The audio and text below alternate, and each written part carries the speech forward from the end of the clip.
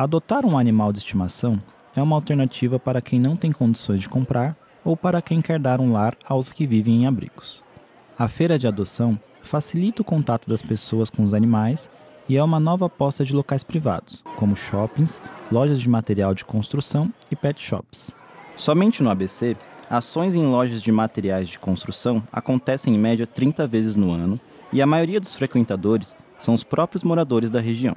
A minha esposa, é, ela sempre acompanha esses eventos, essas feiras, né? E como nós moramos aqui do lado, é, a gente saiu para dar uma caminhadinha hoje, aproveitamos para dar uma passadinha só para vamos dizer assim, ver os bichinhos, né? Mas aí, assim, a gente não escolhe, né? Eles acabam escolhendo a gente.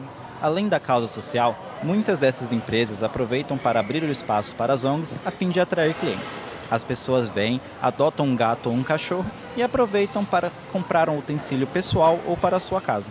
Quem tem interesse em adotar um cachorro ou gato precisa ser maior de 21 anos e levar cópia do RG, CPF e comprovante de residência para a realização do cadastro. A pessoa vem, ela escolhe o bichinho, ela vai passar por uma entrevista Sendo aprovado, ela preenche uma ficha de posse consciente e depois tem o um acompanhamento.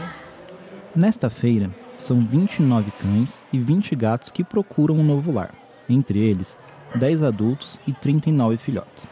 Os animais vieram de doações de moradores da região e cerca de 20 foram adotados.